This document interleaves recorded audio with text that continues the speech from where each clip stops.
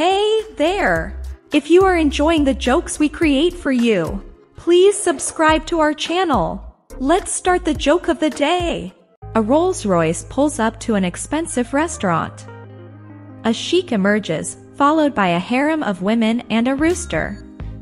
After ordering for himself and his harem, the sheik requests a basket of apples for the rooster. The rooster proceeds to eat three baskets of apples.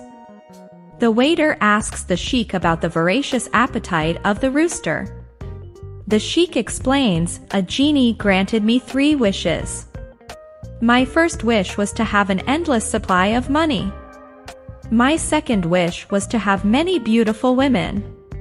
And my third wish was to have an insatiable cock. The woman seated herself in the psychiatrist's office. What seems to be the problem? The doctor asked. Well, I. Uh, She stammered. I think I. uh, might be a nymphomaniac. I see, he said.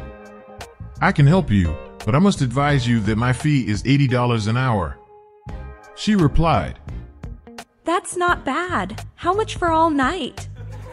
Every day, a male coworker walks up very close to a lady at the coffee machine, inhales a big breath of air, and tells her that her hair smells nice.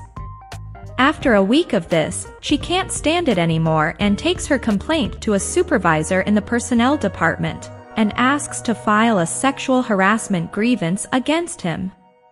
The human resources supervisor is puzzled and asks, What's threatening about a coworker telling you, your hair smells nice? The woman replies, It's Frank, the midget. A man was invited for dinner at a friend's house.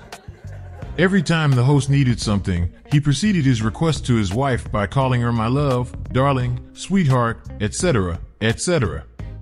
His friend looked at him and said, That's really nice, after all of these years you've been married, to keep saying those little pet names.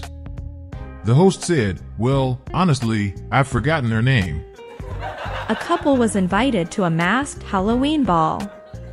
On the night of the party, the wife had a headache. She told her husband to go on alone.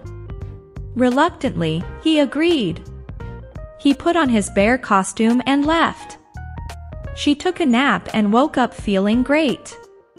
Realizing her husband didn't know her costume, she decided to go and see what he was up to. She got there and saw the bear flirting with every woman in sight. Still masked, she approached him, and after a few drinks, he propositioned her. They went into a bedroom and had sex for an hour, even in positions she'd never done before.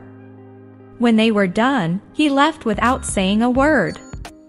She went home. When her husband got home, she asked about his night. Same old, same old, he said. When I got there, a bunch of the guys were in the back playing poker. So I played cards all night. She said, You must have looked silly playing cards in a bear costume. He replied, I gave the costume to dad.